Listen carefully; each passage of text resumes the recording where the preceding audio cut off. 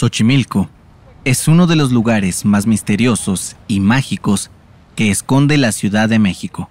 Sus callejones y canales están llenos de historia y sobre todo de una atmósfera mística que te atrapa en cuanto pones un pie en ese ahora barrio mágico del sur de la ciudad. Una de las leyendas más conocidas es la de la Isla de las Muñecas. Archivos secretos de El Heraldo de México.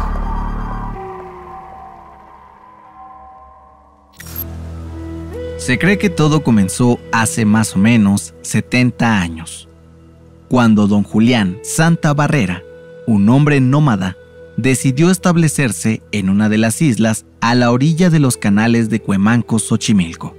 Ahí llevaba la vida tranquila de un agricultor. Pero Santa Barrera no sabía que su vida estaba a punto de cambiar.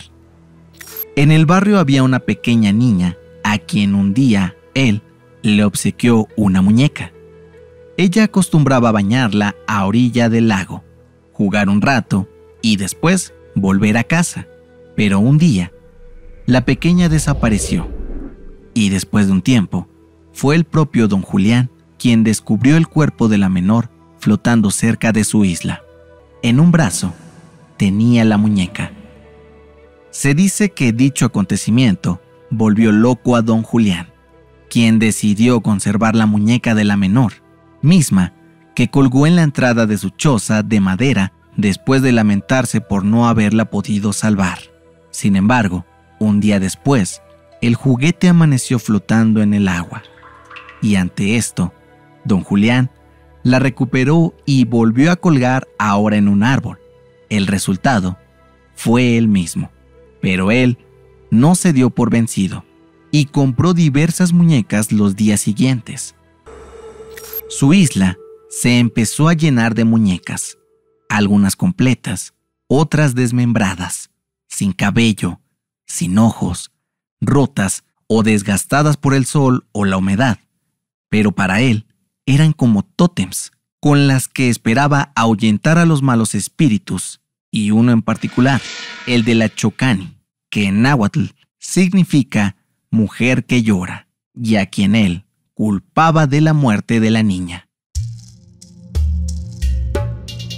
De acuerdo con la leyenda de la Chocani, fue una mujer de origen indígena que se casó con un español, tuvo dos hijos y después fue rechazada tanto por su pueblo como desconocida por su propio esposo, por lo que el despecho la orilló a ahogar a sus hijos en el río cercano a su domicilio. Pero al ver los cadáveres, se arrepintió profundamente y tomó la decisión de acabar con su vida. Desde entonces, su alma vaga en pena y a veces el dolor de ver a niños o niñas jugando felices cerca del agua la orilla a ahogarlos. Otros dicen que también ahoga a varones para desquitar la ira sobre su esposo, quien la cambió por una mujer española. Semanas después de la muerte de la pequeña, las cosechas de la chinampa de don Julián empezaron a mermarse, las plantas a perder su color y él se lo adjudicaba a la furia del espíritu de la niña, quien estaría molesta por haberla despojado de su muñeca. En sus delirios, don Julián empezó a colgar muñecas en la entrada y los alrededores de su casa, ya que creía que lo iban a proteger de los malos espíritus que rondaban los canales y concretamente las islas cercanas al embarcadero de Cuemanco Xochimilco, donde también se decía habitaba un ente en el agua, parecido a alguna sirena. Con el tiempo las muñecas comenzaron a lucir desgastadas, viejas, feas y tan macabras que los rumores decían que se robaban el alma de los niños o de los habitantes que iban al lugar. Incluso hay quienes afirman haberlas visto parpadear, mover la cabeza o no quitarles la mirada de encima cuando pasan por esa parada turística del paseo en trajinera en las aguas de Xochimilco. En el año 2001, don Julián Santana murió y fue encontrado en el mismo lugar donde se ahogó la niña, boca abajo y atorado en unos lirios.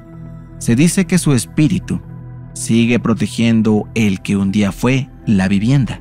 Al día de hoy, se estima que la isla cuenta con unas 2.500 muñecas, algunas destruidas, otras con ropa, sin ella, desmembradas, despeinadas, sucias y hasta sin pelo. Nadie tiene muchas pruebas, pero hay misterios que salen a la superficie una vez al año para después volverse a perder entre el agua y las plantas que caracterizan a los ancestrales canales de Xochimilco.